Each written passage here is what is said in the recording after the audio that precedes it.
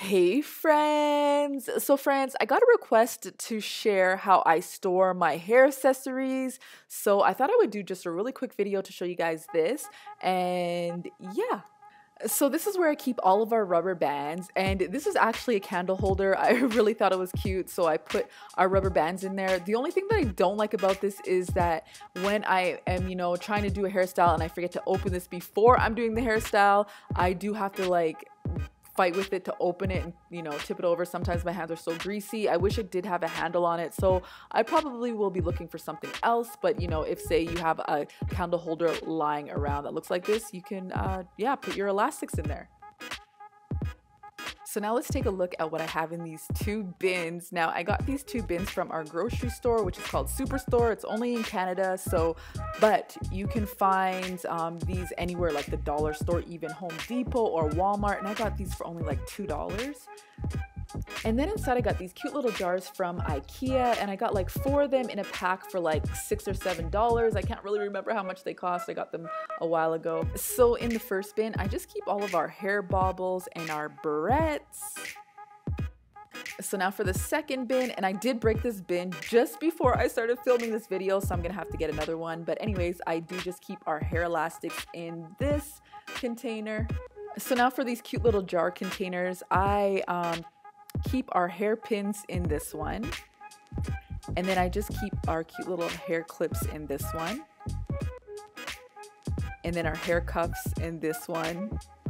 And then our bobby pins in this one. So now for this cute little storage with drawers. Um, I love that the, the drawers are so big so I can, you know, put a lot of stuff in there. And I love that it has wheels because, you know, sometimes I'm doing their hair in the living room or sometimes we got to move to go in our little hair tutorial area. So I love that I can just move it and bring all of our hair accessories with me. And I bought this at Walmart and I can't even remember how much it cost because that was a long time ago that I got this. And it's a Sterilite container. I think that's how you say it. So in the bottom drawer, this is where I keep all of their the bun makers that we have and all of their headbands. In the second drawer, it's where I keep all of their bows. They have so many bows. And then I have these little ribbon. I got these from Walmart, friends, and they only cost a dollar. I'm going to be doing something with their hair with those uh, ribbon. And then I have in a plastic bag, I have all of their beads. And then in the top drawer, this is where I just keep all of the brushes, the clips, the combs, the toothbrush, as you can see. this is where I keep all of that.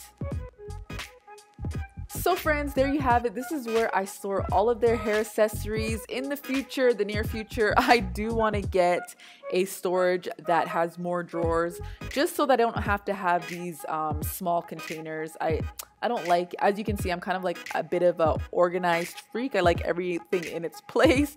So um, yeah, it'd be nice if I can find one where I can roll it around as well, but with a little bit more drawers in it. So friends, I hope this helped you out um yeah i don't know if it did let me know in the comments below how do you store your hair accessories? And friends if this video did help you out please give us a like that's uh returning the favor. And if you are not already subscribed subscribe for more hair videos. We love you friends. Bye